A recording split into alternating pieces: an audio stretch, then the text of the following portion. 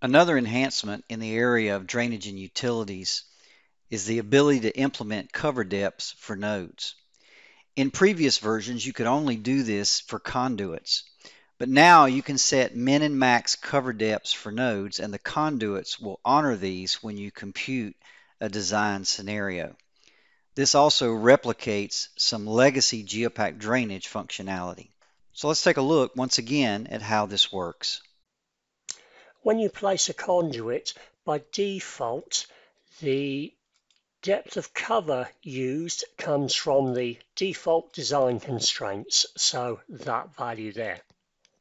But what happens in a situation where you've got nodes that perhaps use different construction materials?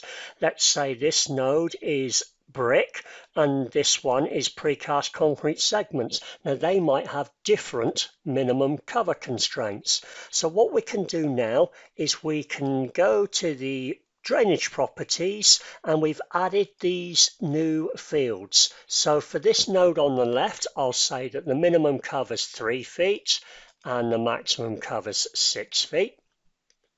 And for this node on the right, I'll say that the minimum cover is perhaps four feet and the maximum is six feet.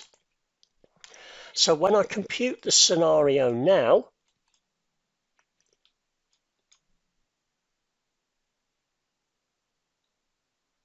we can see that the conduit has been designed so that it honors both the minimum cover at the start node and the minimum cover at the stop node. The node cover constraints are available in the design alternative, so you can vary the cover constraints per scenario.